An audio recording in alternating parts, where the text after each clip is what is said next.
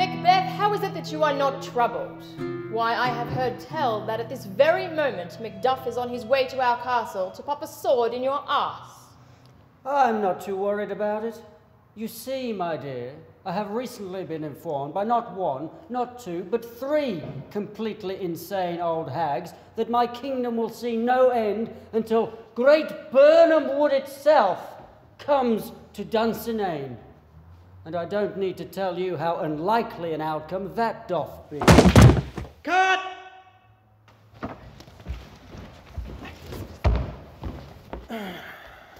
Oh, hello. Excuse me. What the hell happened? I like your energy and all, but Birnam Wood's not supposed to move until Act 5. Passed out.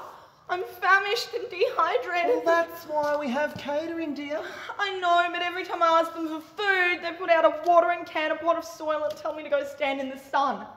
I think it's hilarious. it's pretty funny. I knew I should have given your part to Cate Blanchett.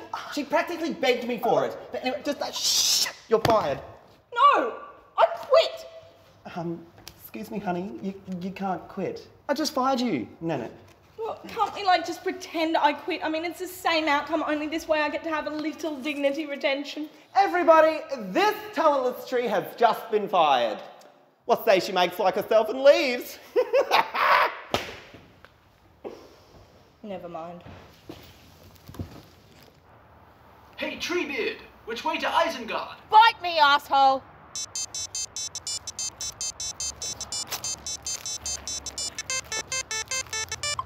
Yes?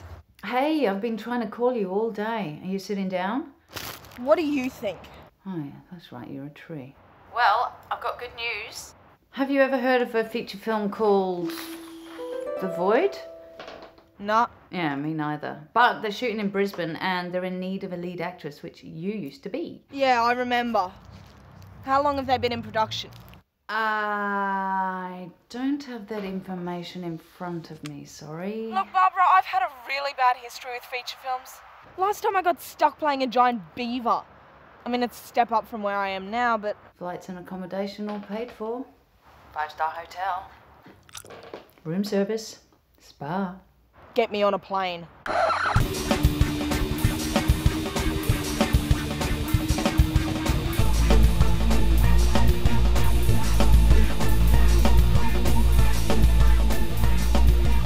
People are always asking me if I know Gustaf Bugansky. Facts! Actually, they're not, but I'm sure that's something Gustaf would love to believe. Sorry? Where were you? I called your name two times. Are you having another one of your episodes or something? No, I'm just boning up on the script. Look, I've got a tree in the foreground. It's ruining my shot. You can get rid of that, right? Well, can you shoot around it? Hmm. Can you answer my question? Uh, it's possible, but. Great! Let's shoot! The truth is, Gustaf is an asshole. And despite helming a theatrical production about a chimney sweep who loves children and a commercial for his uncle's homebrewed foot fungus cream, he remains, astoundingly, an undiscovered non talent. Can you get rid of the tree? Yeah, if I shut myself away from human contact for a week like Gandhi, heaven forbid he should wait the five seconds it takes for Ed to move the camera two feet. No, let me devote a week of my life to rubbing out a freaking tree! Speaking of that, did you know that the African rainforests are disappearing at a rate of 60 acres per minute? God, I wish this rainforest would disappear that quickly. I'm collecting donations for the Save the African Rainforests appeal. If you're interested. Millie, I can't even afford to feed my hermit crabs. They're like- dead. What? Fex, your hermit crabs died two weeks ago. I couldn't tell you, so I removed their corpses and filled their empty shells with miniature motor cars so you'd think they were still alive. No wonder they were suddenly so active. Sorry. I thought you'd figured it out when I made you that crab meat sandwich.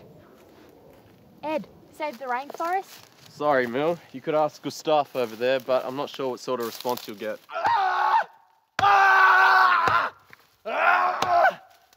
You guys hear about Peggy? Gustaf's finally replacing her. Oh no, really? Yeah, says it's getting too hard to disguise.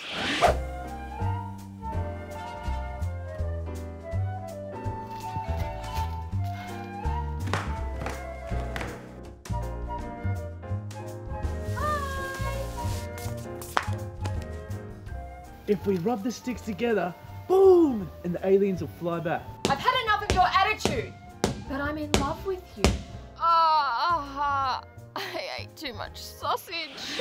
Oh, great. And after I spent the last two months digitally depregnifying her, this is bullshit, Ed. Yeah, especially since it's Gustaf's fault she's pregnant in the first place. That's a scandalous rumour based on zero substantiated evidence. How's umbrella duty, Wilton? I think I saw Gustaf's left ear catch a couple of rays. You better watch that.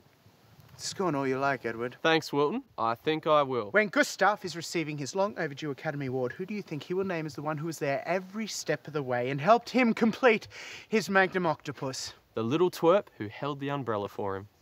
Wilton, I don't think Gustaf realizes he's doing it, but he treats you like a neo Nazi pawnbroker treats a stone broke Jewish heroin addict. Yeah, you wish. All I hear is the chimes of jealousy that I'm Gustaf's number two. Sure treats you like a number two. Him? What about me? I'm supposed to be the editor on this feature, and right now he's got me spending my free time cutting Peggy's ultrasounds together. Fex, Peggy just spewed up on your car again. Thanks, Mel. Let me know if she takes a shit on it. You right there? What draft is this? I don't know, the one with the scarlet revisions. Scarlet? I thought we were on Crimson, draft 66. No, we're on draft 68, Rouge. What is wrong with you people? No, we're up to draft 83.4, Epsilon, revision code beige. You know, I think I figured out why those trees in Africa are disappearing. How can you read beige text against white paper? Simply hold the page over a naked flame and the text is revealed. That's why I've always had a lighter with me since draft 74. I suggest you all do likewise. He's covered the entire spectrum now. Pretty soon we're going to need UV lights and infrared goggles to read this thing. Wilton! Wilton! Why am I in direct sunlight?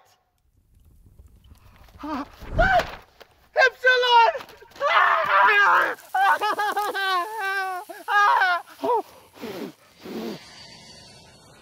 Well, hasn't he heard of using protection? What kind of skank sleeps with the director? Yes, yes, but they ended up getting married right after Temple of Doom. Look, I don't care if she is the mother of his child. That suite was supposed to be mine.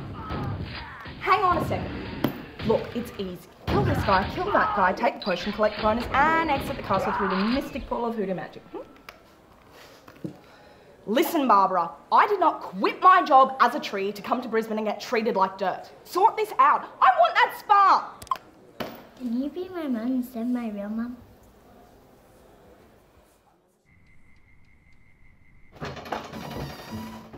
Hey guys, back from my weekly.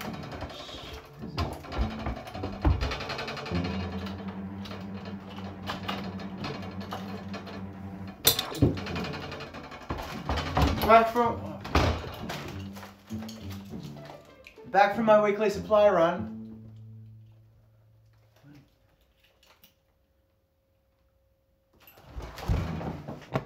Ed, I think I swallowed a key. Come check this out. I'm designing a new lens. It's going to make pregnant people look normal.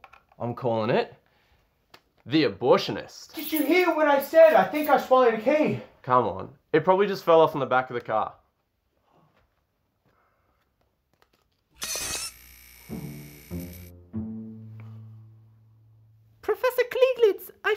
Baby is coming. Surely you are mistaken. After all, you are only three days pregnant. No, it's coming, it's coming. Bleh. Mein Gott, it is son of Gustaf. Where's Fex? I need him to print his six months of work on the film so I can wipe my ass with it. Oh, look, there's Fex's car. Bleh, bleh, bleh, bleh, bleh, bleh, Hey. Fex!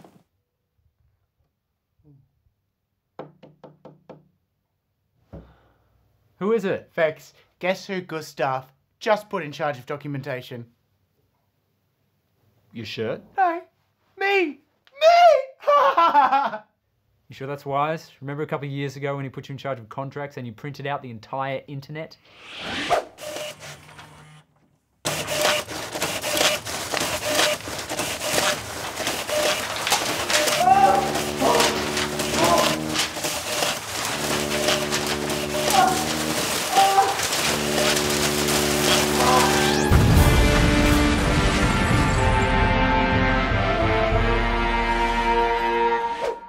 That was pretty epic. Made the paper. Yeah, I think I read about it online too. Yeah, I probably should have just unplugged the printer. But anyway, I think I'm well on the way to being crowned first assistant director. Now who's being used? Hey, did you get me some boxes? Yeah, the ones you like. Polyester. I even cut off the tags too, so they won't give you a nappy rash. Champion. Let me know if they're not right, because I can take them back when I'm returning your videos and picking up your dry cleaning. Mm-hmm. You're the best.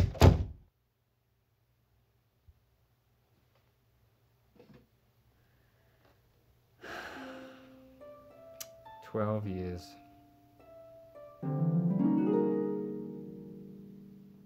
Why have our faces changed but not our bodies? Don't ask me, it's his photo fantasy. Hey, Fex, guess who Gustaf put in charge of documentation? You just told me that. Oh, goodbye, my Coney Island baby. Farewell, my own true love, true love.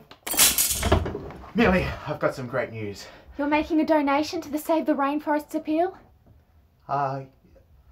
I can't afford it. I just spent my last savings on Fex's new underpants. Of course you'd feel that way. Meanwhile, it's just another day for you and me. In paradise.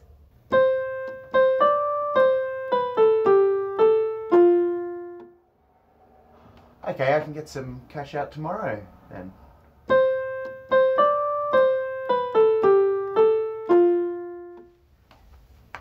Just take my whole wallet.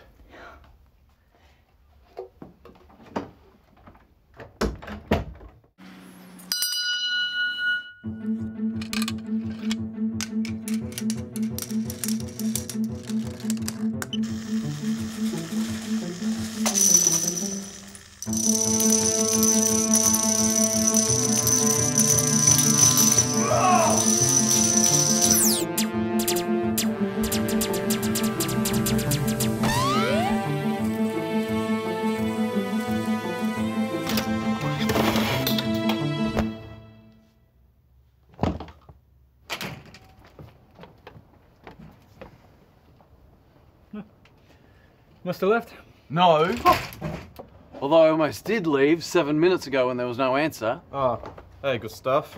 And what brings you to our humble abode? Hi, Gustaf. Had to find another place for our new starlet. Peggy will be staying in the hotel suite for the remainder of her gestation. I thought you already had a place. Fex, what kind of father would I be if I let the mother of my firstborn stay in some crummy share house? You mean like this crummy share house? Ugh. Could you imagine? Poor Peggy. Anyway, I found a place for the new girl, so it's all taken care of. Now, I want you guys to make sure that she gets settled in, okay? Sure, when's she coming in? Can someone give me a hand with this, please? Ed, help her, would you? We don't have a spare room though. Which one of you has the largest bedroom? I do, Gustaf. Not anymore. You're sharing with Fex. New girl's got your room. Here, take this. Thanks, guys. Appreciate it. It's not so bad. It'll be like a sleepover every night. I'll get my pillow. See you, Gustaf.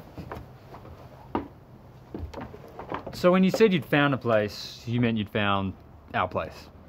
Is there a problem, Fex? Well, I mean, I didn't say there was a problem. Well then, get that stupid look off your face. And don't be late to set again.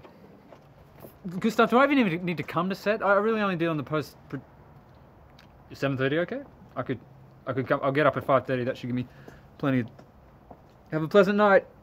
So this used to be Wilton's room, but now it's yours. Wow. Like, already looks like a girl's room. My room in Melbourne was more masculine than this. Well, I don't know about girly, but I have tried to go for that Mediterranean meets feng shui motif. But it's always tricky walking that fine line between classic and retro. Ah, save the rainforests. Good cause, that. I know what it's like to be part of the scenery. So what's your name? It's Wilton? Huh? Not you. Uh, I'm Lu. Nice to meet you guys. Lu, as in toilet. So, uh, who are you guys? I'm Millie. That's Ed, Wilton, and Fex. Fex? As in that's some stupid made up nickname that has nothing to do with your real name, which is probably so embarrassing that you wish you could change it, but you can't because you're afraid you'll offend your mommy if you do. Well, let's put it to a vote. Does anyone else here think that my nickname is stupid? Well, as I appear to be the victim of mutiny, I guess I'll just have to go and find myself a new spaceship. Don't worry. He's just jealous that Gustaf put me in charge of documentation instead of him. Ah! Stupid made up nickname. I'll show her what a stupid made up nickname looks like.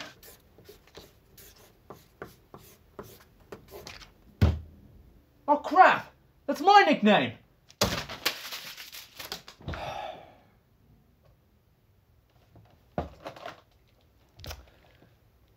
Who needs friends when I've got you guys? Uh, did he just refer to us as his friends? I'm not that desperate. Well, there's no spa, but the people are quite nice. Except for this one guy, but I think he's just upset because now he has to bunk up with a dude. Oh well, that's understandable. Yeah, and the director's got a sterling reputation, so you should be in good hands. Well, as long as he's not one of those fastidious, self-indulgent, indecisive jerk-offs who spends forever on a single project because their concept for it keeps changing. And the stuff they do churn out is a steaming pile of horseshit anyway. Don't let your imagination get the better of you, dear. Barbara, uh, how long has The Void been in production? Um, what was that you said? Can't quite hear you. You're breaking up. I said, how long has The Void been in production? Oh, wait a minute. I think I just heard the phone ring. I mean, I think I just heard someone at the door. Gotta go, bye.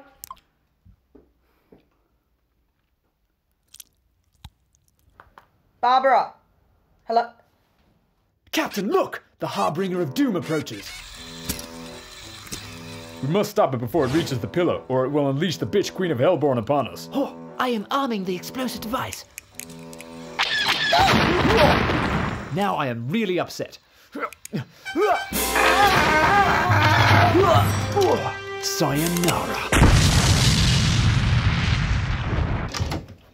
Hey, what's the deal with this photo? What the? I thought I smashed that. This is from Wilton's room. Oh, right. Yeah, we should have a copy. Look, you guys are like 11 years old in this thing. How long have you been working for Gustaf? 12 years. How long have you been working on The Void? 12 years. What? This is like Hearts of Darkness times three. Yeah, I really don't think the Void is in the same league as Apocalypse now. Not even in the same sport. What are you playing with? Is that G.I. Joe's and Lego? No. I can see from here it's G.I. Joe's and Lego. Oh, this. Oh no no, this is a this is a, uh, just a gift for my nephew. I'm just testing it out for him. Testing it out. Yeah. What are you afraid they're going to explode when he touches them or something? No, I'm just you know ensuring that they can withstand the rigors and rough housing of uh, playtime with a five-year-old. Ah, so you play with the toys the same way a five-year-old would. I'm not a five-year-old. Okay. Um, look, if you guys have been working on this thing for like 11 years, you must be pretty close to finishing it now, right? Uh, yeah, yeah, we're we're real close to finishing it. Oh, good. Because the last thing I want is to be stuck around here for the next 12 years. Sucker. I uh, heard you say sucker under your breath just now. Should I be concerned about that? What? I didn't say anything. Yes, you did. I heard you. Oh, just then. Oh no no no. I I, I said um. Thunder. You said thunder. Yes. Why did you say thunder? Uh, why are you invading my privacy? The reason why you said thunder just now is private matter. Is that what you're saying? Well, you don't see me going around asking you why you say thunder. I don't say thunder. Yeah.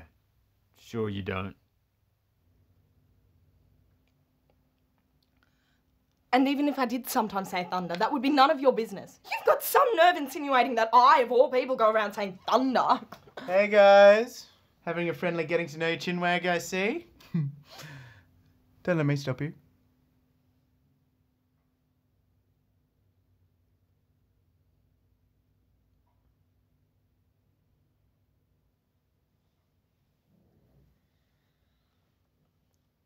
So, Fex. Stop. Sorry, Larry. Gonna have to stop you right there. Fex and I need our 40 winks. I don't know whether anyone's told you yet, but Gustaf's put me in charge of documentation. Starting tomorrow. I was told. By you, in fact. Gosh, it's incredible how fast word spreads. Oh, See you guys in the morning.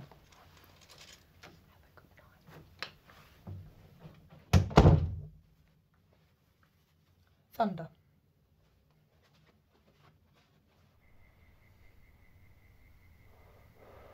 I should warn you, I have a penchant for talking in my sleep, among other things. Other things. 101 things you can do while sleeping. Sleep walking. Sleep sitting. Sleep jogging. Sleep swimming.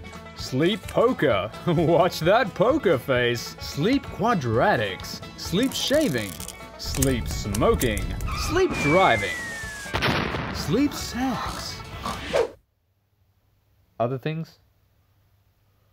Wilton? I have a penchant for talking in my sleep.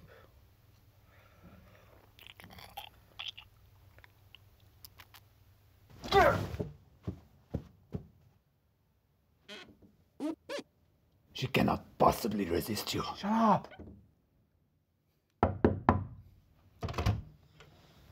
What? What do you want? Do you know what time it is? I'm jet lagged. I know exactly what time it is. It's 162 minutes until 5:30 a.m. I know this because I've been counting the minutes until I no longer have to share a bed with Wilton, the sleep-talking key regurgitator. What? Why are you two sharing a bed? Uh, I didn't mean we're sharing a bed. We're not sharing a bed. Uh, I'm in the bed, he's on the floor. We're not sharing a bed. That would be weird. What is your problem? You! The world and everybody in it. There's no justice. Everyone's out for number one and everyone's an asshole. And I'm always on the losing end. I have a bachelor's degree in film and screen media. If anyone should have the big bedroom, it should be me. I've got two bachelors and five diplomas. I'm so not impressed. Well, someone likes to talk themselves up to the shame and embarrassment of those around them. That being me, currently. Look, I don't have time for this. If you want the world to change, why don't you start with the man in the mirror? Him? He's a freaking asshole too. On this, we agree. There is an evil presence in this house!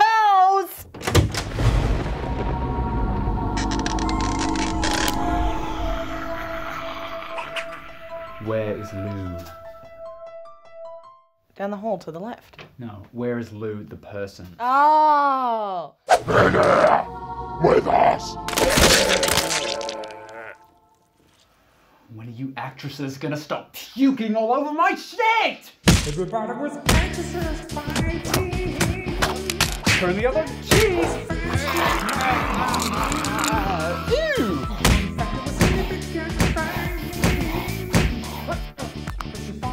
Nipple! Oh! Oh! Let me! Ow! Let me! I really don't want to lick you guys! Little piggy! Ah! Went to the market! Who do you love? Satan! No! The power of Christ compels you.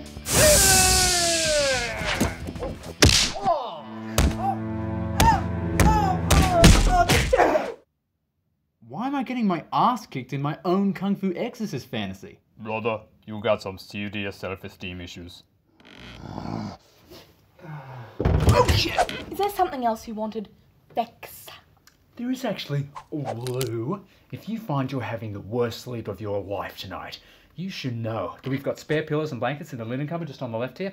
We don't have an electric blanket. We do have an electric pillow, but I wouldn't recommend it if you've got sensitive teeth. Fex, I'm not really sure what you're hoping to achieve by coming to my room in the middle of the night. You appear to be on some sort of personal crusade to irredeemably humiliate yourself and permanently crush any chance of me ever having the slightest bit of respect for you.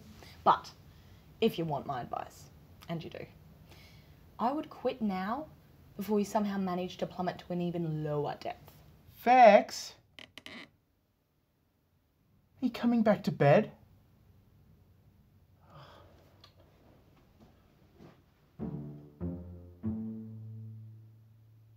Everybody was Exorcist fighting. That cube was